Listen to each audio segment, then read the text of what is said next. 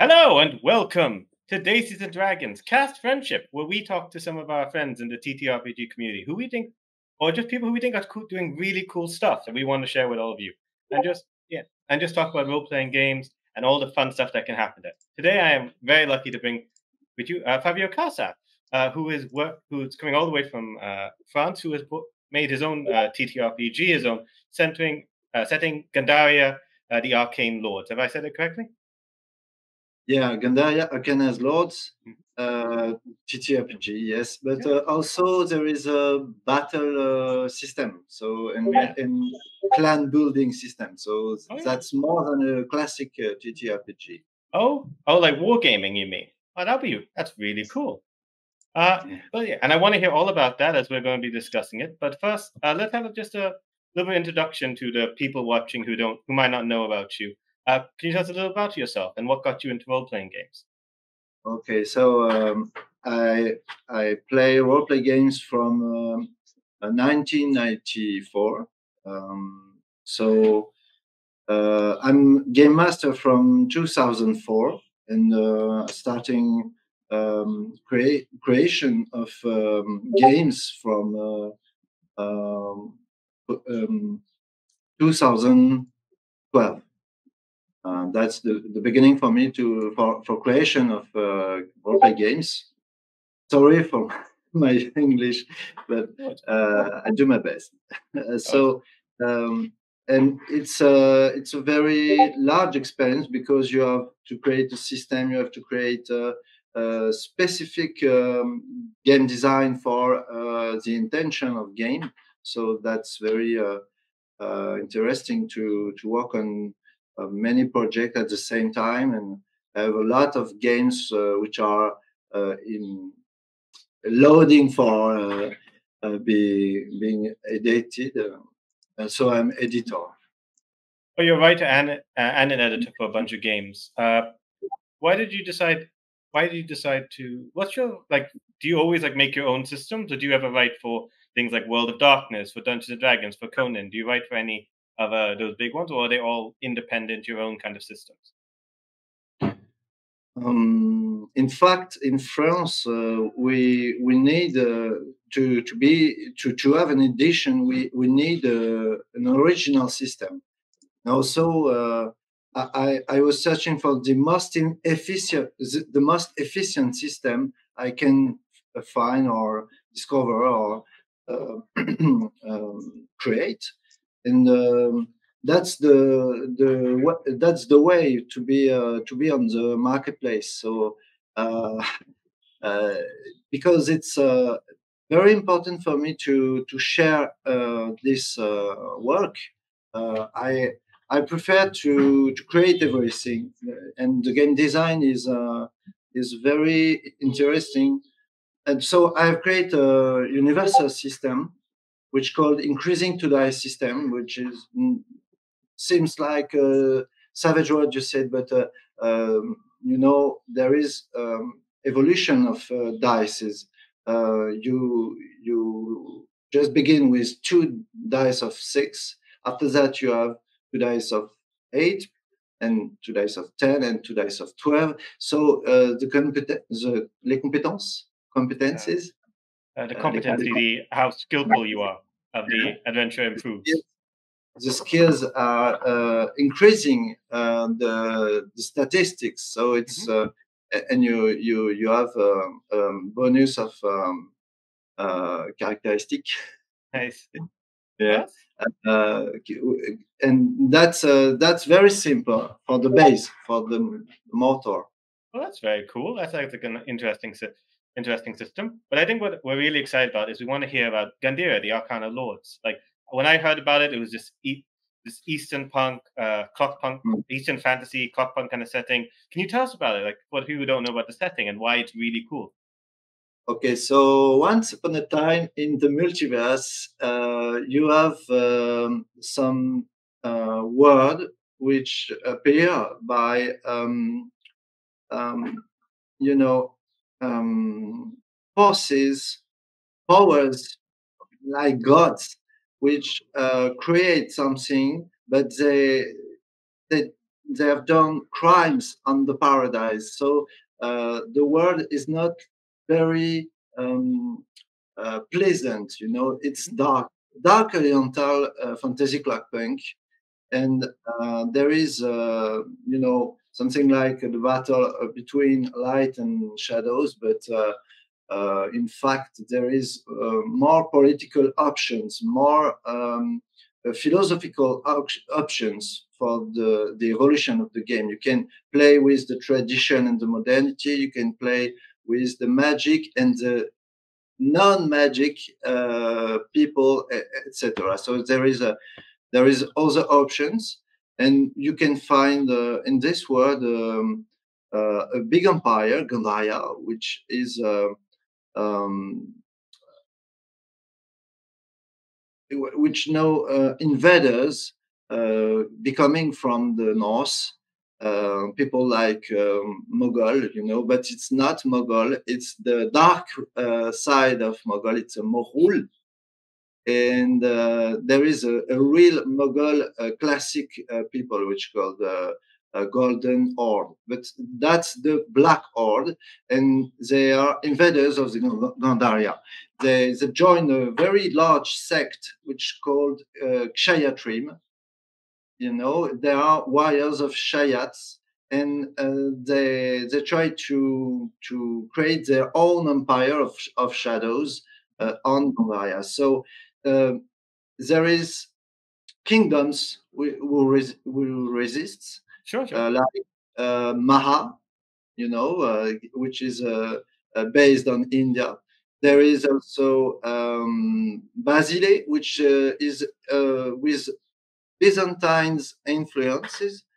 Pelaboya, which is an archipel, an archipel um, uh, based on Italia, um, you know, and uh, and the other the other kingdoms uh, have many problems with the shadow are uh, trying to invade uh, the empire. So it's very, very uh, political and military complex situation. You can have many options to to play, and we begin in a very large city which called uh, Baladajama, and uh, this city is uh, an old um, capital capital of the empire. Um, not uh, on not on a ruin, not ruin, but um, old. And um, uh, so that's a place where many refugees come because of the invasions. And so there is a massive, massive um, uh, demography on this city. Yeah. So very, very important because it's uh, the first line of the war.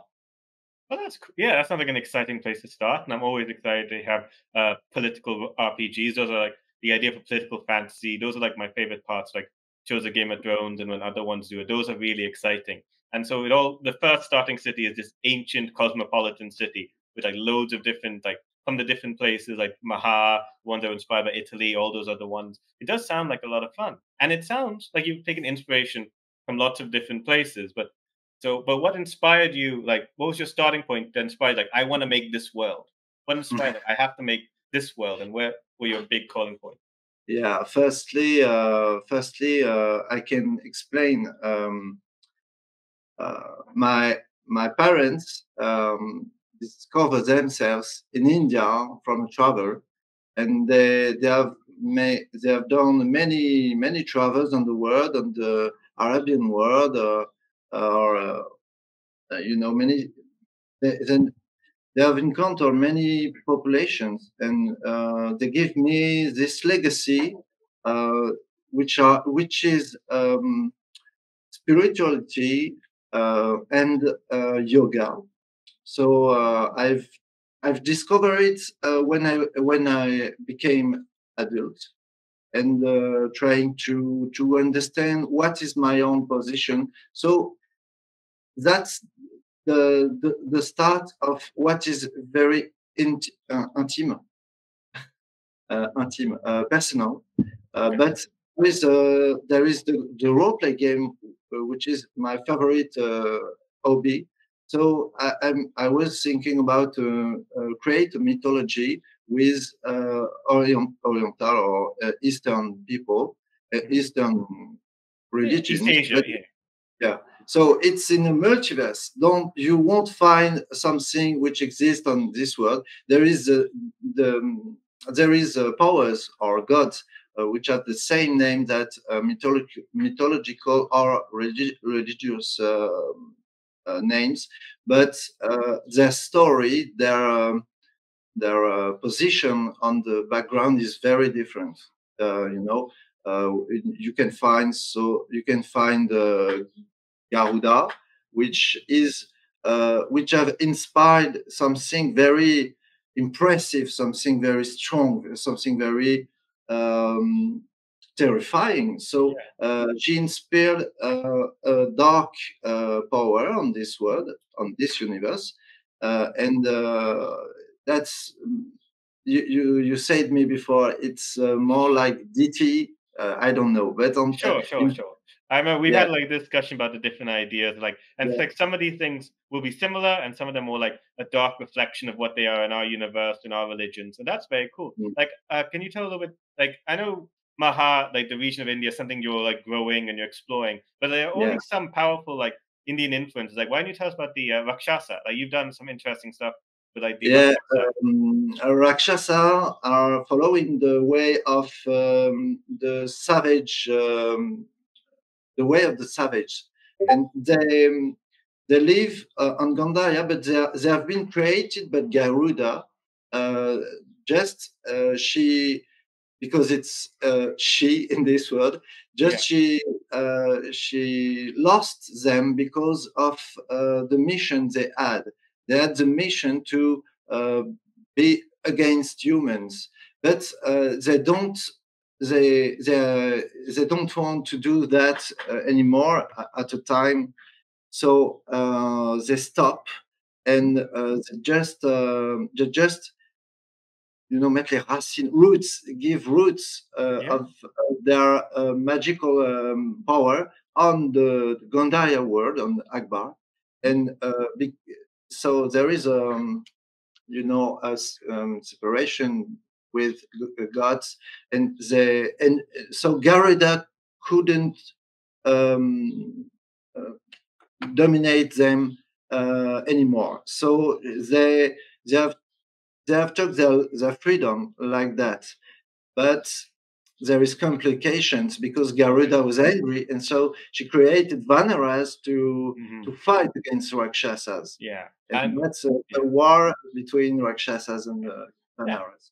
Yeah. Almost like a twisted Ramayan, because in our a reflection of the one in our world Ramayan, the Vanaras were the they're inspired by the uh, Hanuman's people, the uh, monkeys uh, who allied the monkey people who allied with Ram, mm. and uh, Lakshman to rescue Sita, and now it's sort of like a reverse of that, like good versus bad. It's it, it's like an interesting thing. So you'll see similar similar things, but also uh, different things. Uh, currently, it's only in uh, the settings only in French right now. Uh, right? Is there any plans you have to uh, translate it into different language, uh, into different languages? Maybe bring it to England, uh, English. Yeah, uh, I um, I have choose to to make this word in a website mm-hmm. firstly, and so you can use Google Google Translate to have your uh, English or other uh, version. But uh, uh, for the books, uh, which not exist at at this moment, um, because the crowdfunding have not been done, so um, you can find everything until the 28th of September, uh, totally free on the website. And after that, so that's uh, on uh, uh, seigneursetenchanteurs.fr, you, you, you will give the, the link. Um, yeah, yeah, of um, course. We'll share the link to that. Not a problem at all. Uh, and, can you tell us about, yeah, can you tell us about like uh, you've decided to do something very interesting with the uh, with the website. You've done it where it's a subscription based, and through that you gain access to all the rules, all the information. Uh, currently, it's free for everybody. But like, so can you tell us about this subscription base? Why did you decide to do it this way instead of like keeping all the information secret until the the books come out? Why did you decide to do it this way? Um, because uh, I think um, you know when when Sébastien Célérin, the editor I have uh, encountered in first, um, give me the I always say give me the um, the power words. Don't have the expression in English, but uh, the the words of power, the words we create. Um, you know, he, he said me, uh, don't worry about um, uh, you know rules or uh, habits. Uh, you can do it uh, very um, transparent. Yeah. Uh, as you very, like. Yeah. do it for, for players. Uh, and after that, when uh, when because you have rights, so you you will um, choose. You will choose after.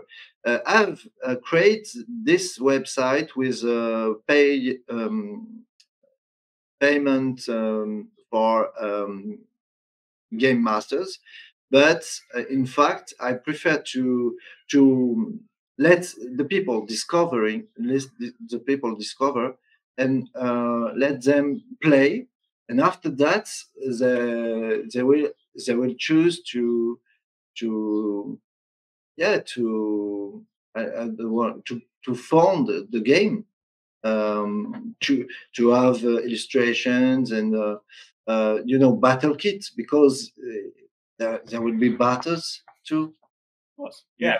You mentioned it's partially wargaming as well. So there'll be like battle kits, maybe minis, maybe miniatures in the in the many future. miniatures Yeah. So, There is uh, 20, 20 archetypes of uh, character. Um, there is eight uh, form of magic, uh, spells, divination, alchemy, talismans, imprecations, chimera, exorcism, pranism. So many situations. And all of them sound cool, even the ones I don't understand. No, I know what all of them are. I know what all of them are, but they still sound very cool. They still sound very cool, and like when I'm reading them, they do sound like a lot of fun. Uh, and I am excited for like the future of it. Uh, like you mentioned that on the 28th, you're planning to like uh, make the website go back to uh, pay, no longer be free. Does that mean that you're planning a crowdfunding at that point, or you're planning to release a new book, or what do you plan? What's the future of Gandariah? So the future is uh, for this summer illustrations of the covers of uh, the extensions uh, and the screen. And uh, at the autumn, we we come back in actual play, and uh, during the uh, 2023, we will have our crowdfunding on Game On, and that's all. after after uh, we we must write everything, you know, atlas, the atlas of the game. Uh, we we must uh, write uh, um, many many um, uh, informations about magic in uh, the arcane and mysticism uh, extension, and so after um, i- there will be a second novel because there is an, a first novel which uh, explain the situation uh, from the start. And there will be a, a second novel when we will have uh, all the, um, um, you know, the la, la gamme, la gamme. Uh, sorry. Uh, um, huh? Uh, Gamme. you'll be yeah. You'll be writing the books because you said you're an author as well. uh, the range the range when we will have all the range we we're gonna we're gonna have the, the second novel uh, to introduce the second season of uh, uh, the background Nice. Mhm. Uh, so, oh, so that sounds uh, very interesting. And uh, are you planning to uh, write the books yourself because you said that you're an author, or you're planning? Yeah. Yeah, yeah. So, how many people are involved with the uh, with the project right now? You mentioned an editor. Presumably, you've got some illustrators. Like, how many people are involved with this? So um, in France, there is a, a very large market, the second of the world after USA, and maybe the first. I am not sure. Um, there is many gamers uh, of TTRPG, and uh, uh, also just after France, there is Belgium, which is near, and so a very large francophone um, uh, market for uh, games. So there is many creations, many new games coming from France or Belgium, and so um, it's a little difficult to find his own place on this uh, um, you know explosion of uh, creativity. So, but uh, we we ha- we have been um, we have been interviewed. Uh, I I have been interviewed by um, some medias of, of France, uh, TTRPG, like uh, Des Milliers des Cents, uh, Les Portes de l'Imaginaire, and also Architotis, and the Grog, of course, because the Grog is a place to be. yeah, of course. Yeah, I had no, I didn't know how uh, big uh, TTRPG market was in France. I had no idea it was like the second. What is the TTRPG scene like? Is everyone playing Dungeons and Dragons? Do they prefer Call of Cthulhu, Conan? Are they all doing like games that you can only get in France? What is like the big? What's the role playing scene like in uh, France? Um, there is many games, so it's very hard. There is, um, uh, you know, games for beginners. Uh, there is, um, um, you know, concept games um, play by forum or uh, you know, and, and we have covens, we have uh, salons, we have uh, so many uh, situations uh, for um, uh, encounter. There is um, associations, uh, many many situations uh, um, which favorite. Uh, comment dit. Oh, sorry. Uh, well, yeah, you have many possibilities to to find players. Discord, of course, uh, also uh, social uh, networks. That's that's awesome to know. Like we as Daisy Dragon, we're trying to like create a bigger market, a bigger community of players in India. We're trying to get more people to play. We're trying to connect people, but it's very much still uh, very much you know someone so you're in a Discord or you're in the WhatsApp group. Almost like only a couple of years ago, maybe last year, everyone, almost everyone who's a dungeon master was in the same WhatsApp group. So it's like it's nice to know like how how was it able like how long has France's like uh has it always been like the second biggest? Or has like France's TTRPG market just grown very quickly in the last few years? Or like uh, yeah it's a few years because of um, you know some um, uh, when the actual play have been created uh, in uh, America uh, at the same time the big geek community of YouTube uh, create uh, um, an adventure and the name is adventure. So that's uh, that's that it was um, uh, um, some kind of discovery of discover for um, the, um, the french uh, youtubers and uh, followers. And so they said oh my god this is great this simple this is free. So yeah come on and they they came uh, on the network uh, communities, and the communities grew were, were growing, growing, growing. So now uh, we are we are the seconds, but um, I think that's not very important. That's the the pleasure to find uh, every sort of games or gamers, and that's uh, that's great. And also uh, I I hope the same for India because that's very important for me to to know that uh, uh, we we are not alone on on our own world. yeah, no, definitely. Like it's it it sometimes does get a bit hard with a language barrier of like finding about role playing games, like finding out about yours. But the internet has made that a lot easier, and like especially when something very cool like yours is coming out, which like there aren't that many Eastern punk fantasy like role playing games in general. Uh, just like and yours, it had such great illustrations, had like such cool ideas and like the rules rules looked fun and like it's like every time I'm reading like oh there's always more stuff happening so I'm just really excited to like see like your take on it like and like how it's done as well as your dark reflection I'm hoping that inspires more like more Eastern punk more uh games inspired by India inspired by Arabia inspired by the Byzantine Empire all these like fun different ideas and it'd be fun definitely I'm looking forward to seeing how it grows how it develops like how the community gets uh how the community gets bigger and so yeah. I'm looking forward to. Uh, I, I think that's the the, um, the good time for this uh, type of games because in France we are beginning to um, propose situations on um, periods which have not been ex, um, exploited exploited uh, before. Yeah, we, okay. we are we have uh, um, we are on a, a situation we we are searching for new experiences, and so um, we are very interesting by um, situation we don't know nothing about.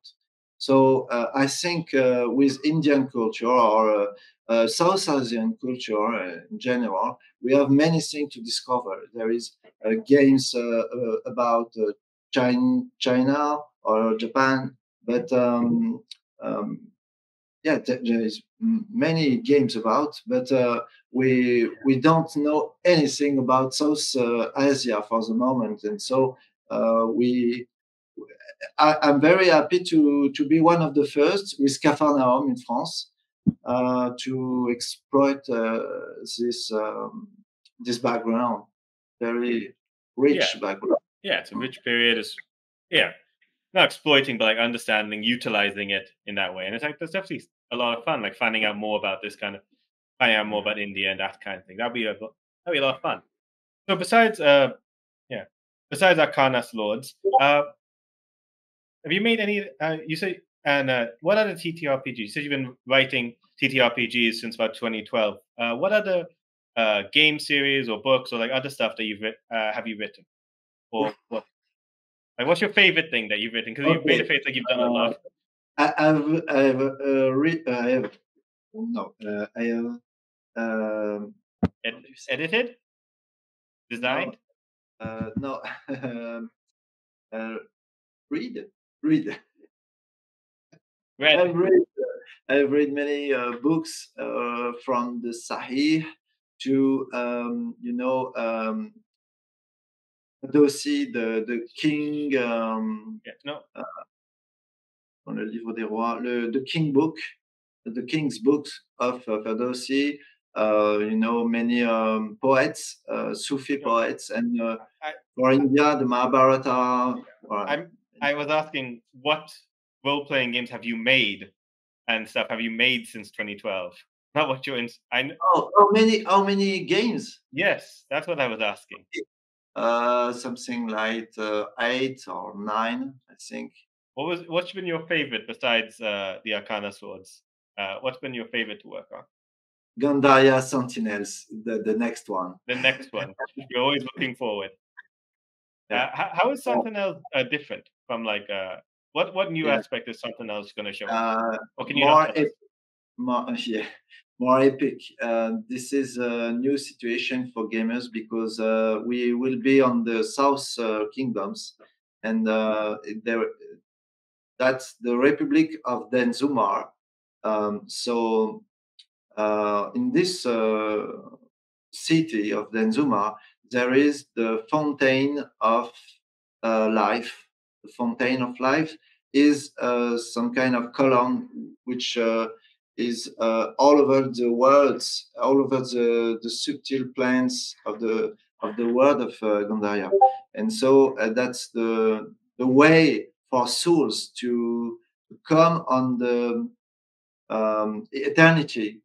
The, um, the world of soul is called the Bardo, and so there is um, a magical races which comes from um, the dream world and the Bardo, uh, like angels, jinns, rakshasas, and you yeah. will you will play that. You will play rakshasas, angels, and, and jinns, and bexes, which are uh, catmen um, born from uh, the dreams of Kaini witches. So that's uh, something uh, very very strong. You have a way, and when um, you you have a situation um, which can be compared to the, the level of your way, you can active uh, a special gift uh, of power and um, very it's a very strong uh, power so uh, you can you can be uh, some uh, how to say um, you can give buffs to your your friends. You can you can be um, um, how to say? Uh, damage like cursing enemies yeah. hurting enemies. You can yeah. buff yourself. Oh it's cool. Lots of different uh, options lots of cool things and i'm looking forward to that. Uh, and that mm. definitely sounds very fun. But there's something like i think a lot of the audience and us would be very excited to talk to because you've been working for so long as a making games and that thing. Uh, if someone wanted to get into like making games and like making a game based on something that inspired inspired them, uh, like how what advice would you give them? Like how would you get them to start? How would you what advice? Yeah, what would you tell them to do? Oh, firstly, you you are um, game master, so you you are um, you you need to create many things for your gamers, for your players. Uh, so it's the beginning. You you write your uh, synopsis, scenario, etc. And uh, after that, you you you have some ideas of new worlds, new new universe, new situations uh, to create new situations, you need to um, create um, a lore for, and uh, so um, uh, yeah, that's uh, oh, okay. that's um, the next level. Yeah. I meant I meant like how you uh you're publishing again, like how you became like a professional, like you're writing it as a as a career rather than like just becoming a game master for your friends. Like, what advice do you have they're getting into doing it professionally as opposed to just like doing it for their friends. Like writing a whole world that you're putting out online, that you're making it, that you're kickstarting, is different mm. from making a game with just your uh, with just your friends. Like, do you have any insight, any advice that you want to offer for people who want to do that, who want to become professional writers uh, in that way? So um, in France, we have facilities to to help um, people which have a, an handicap. So um, that's my situation from 2020, uh, 2012. Yeah. Um, and um, so um, I can uh, I can have many time to to write and uh, you know there is many many parts uh, music um, uh, writing and um, uh, mastering many parts of the uh, of the creation. Um, so I have time because I'm in France. That's uh, uh, not easy for uh, other authors. Uh, that's very difficult. They, they need more time. They need also illustrations. Many times there is illustrators which became um, creators of games, game designer. Uh, after that, to to have their own world on the market, but uh, in fact, um, um, that's cheap. that that not cheap. That's um, difficult. Yeah, uh, uh, advanced. What? Uh, price is expensive. Uh, it's expensive. Expensive. That's very expensive to to have illustrations in France uh, for a new game. So um, we need uh, crowdfunding, and, um, and so that's um, that's you know authors as um, how to say it uh, the the poor parents of uh, the the games. Um, that's not easy for authors in, in general but um yeah we do like we we can. So that's fair. Uh yeah i think we're just is there anything else uh you want to like let uh, our audience know? Anything that they be aware of? Anywhere where they can find you? Like on uh, on the internet or on social media uh yeah. any so anything you want to tell the uh, let the audience know uh, for games, uh, I have the, the website um, Hashtag, uh, which is the, the site of the website of the society. Uh, there is also the website of Multiversalis. Multiversalis is um, um, a creator um, community uh, with many games, uh, fan made, uh, the most oftenly. But um, there is also um, professional ones uh, uh, and um, les aides de jeu, c'est un game. Uh, game jam. Are they uh-huh. making games, or what do you what are you trying to say? Um, you know, when you you give uh, informations or tab- tables or things like that. Oh, finding tables, like finding groups, uh, yeah. finding players. Yeah. Okay, oh, that sounds cool. Uh, yeah. And, right. um, and also there is uh, the website of uh, Gandariah. Yeah. And also I, I'm a YouTuber, so I have a, cha- a channel, uh, uh, Histoire et Conscience, nice. uh, talking about consciousness and uh, history. Of course. Uh, yeah, those will definitely like all those links will be down below. You guys should all be able to see that. Uh, and yes, uh, Fabio, thank you so much for ha- coming to talk, uh, come to talk to us on Cast Friendship. Uh, it was a lot of fun talking to you, seeing how it is in France, and seeing like how big yours is and how big hopefully uh, India can also grow in that way. Uh, and yeah, I hope you had fun. Yeah, very fun.